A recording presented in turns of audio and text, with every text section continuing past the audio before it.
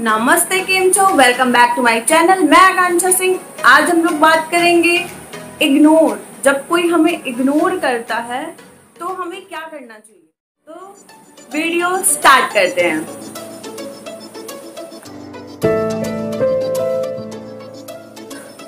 जब हमें कोई इग्नोर करता है तो मतलब अगर कोई इमोशनली किसी से अटैच होता है और सामने वाला बंदा हमें इग्नोर करने लगता है तो हमें बहुत बहुत बुरा फील होता है कि वो ऐसा क्यों कर रहा है। अभी कल तक तो सब सही था, अभी ऑटोमेटिक ऐसा क्या हो गया कि वो हमें इग्नोर करने लगा। ये जो भी इग्नोर करता है, वो एक बैग इग्नोर नहीं करता है। उसके दिमाग में ये चीज़ चलती रहती है, बहुत दिन से या तो कुछ होता रहता है, या फिर कोई भी आपकी उसको बात हर्ट कर रही होती है, जो भी, जो बातें आप बार बार उससे कर रहे होते हैं इसके वजह से भी सामने वाला आपको इग्नोर करता है। और हमें पता ही नहीं होता है कि सामने वाला हमें क्यों इग्नोर कर रहा है। बहुत टेंशन हो जाती है बार बार फ़ोन करते हैं फ़ोन रिसीव नहीं होता है मैसेज का रिप्लाई नहीं आता है, कुछ भी नहीं होता है। कई बार तो लोग इतने डिप्रेशन में चले जाते बार बार उसको फ़ोन करते हैं मैसेज करते हैं, कोई रिप्लाई नहीं आता है। बस वेट करते हैं कि एक बार कॉल आ जाए। फ़ोन बजा नहीं दौड़ के जाते हैं कि, अरे कहीं उसका कॉल तो नहीं आ गया। बट ऐसा नहीं होता है। तो जब हमें कोई इग्नोर करे तो हमें क्या करना चाहिए? सबसे पहली बात, आप खुद सोचो कि आपने कुछ ऐसा तो नहीं करा है ना कि सामने वाले को वो चीज़ बहुत हर्ट कर गई है? इसलिए वो आपसे बात नहीं कर रहा है। अच्छे से सोचो। अगर ऐसा कुछ नहीं है तो नॉर्मली एक ही काम करो। उससे फेस टू फेस बैठ के या मिल के आप कॉल करके जैसे भी। आप उससे डायरेक्ट बात करो कि भाई क्या प्रॉब्लम है?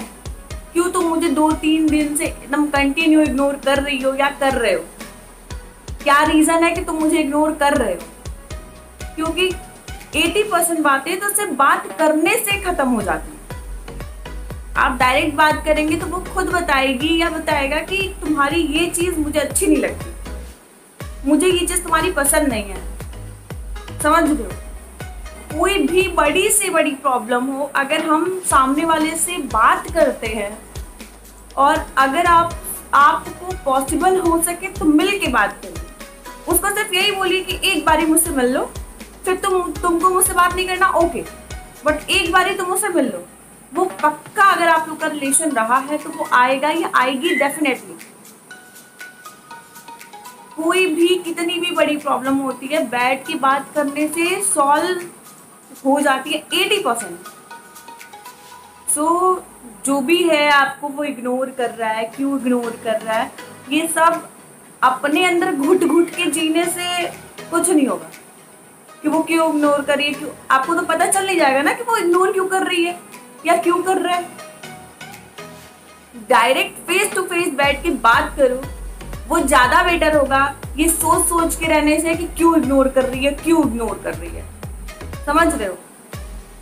तो मैं बस यही कहना चाहती हूँ कि कोई भी आपको इग्नोर करे तो किसी भी सिचुएशन का तुरंत ये नहीं मान लेना चाहिए अच्छा वो मुझे इग्नोर कर रही है, छोड़ो।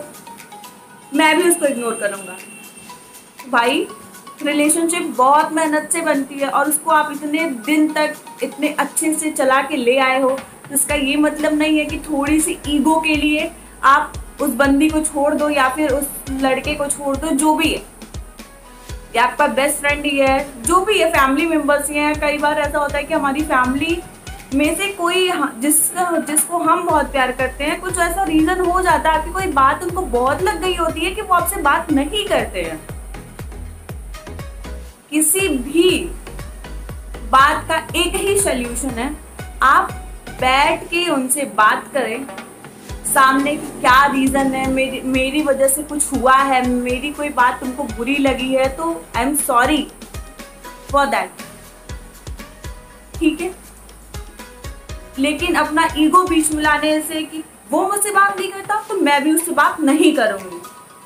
ऐसा कुछ नहीं होता। एक बार, दो बार ट्राई तो करना ही चाहिए ना यार। ऐसे थोड़े हो जाता है कि एक रिलेशनशिप बनाया और उसको हाँ वो मुझसे बात नहीं कर रही तो मैं भी उससे बात नहीं करूँगा। बहुत मेहनत से बनता है रिलेशनशिप तो इतने इजीली कोई भी रिश्ता टूटता नहीं है यार। या आप किसी भी रिश्ते को अगर इतना इजीली लेके चल रहे हो और वो एक फ़ोन कॉल नहीं करने से, दो दिन बात नहीं करने से अगर वो टूट जा रहा है तो आप कौन सा प्यार कर रहे थे? घंटा प्यार कर रहे थे? इसको प्यार नहीं कहते। ठीक है? एटलीस्ट अपना बेस्ट दीजिए ताकि कभी ये ना लगे कि मैंने तो पूछा ही नहीं उससे कि ऐसा क्या हो गया था कि हम लोग अलग हो गए। उससे पूछिए, क्या रीजन है? कोई प्रॉब्लम है तो हम दोनों मिल के सॉल्व कर लेंगे यार। बताओ तो कि क्या बात हुई है? क्यों तुम मुझे इग्नोर कर रही हो? किसी भी रिश्ते को एक चांस देना बहुत ज़रूरी है। आप अगर उसको सच्चा प्यार करते थे या फिर आप सच में चाहते हो कि वो आपके पास रहे तो एक बार उससे बात ज़रूर करना चाहे कुछ भी हो जाए। उससे बैठ के एक बारी बात ज़रूर करना। ठीक है? थैंक यू मेरी वीडियो देखने के लिए।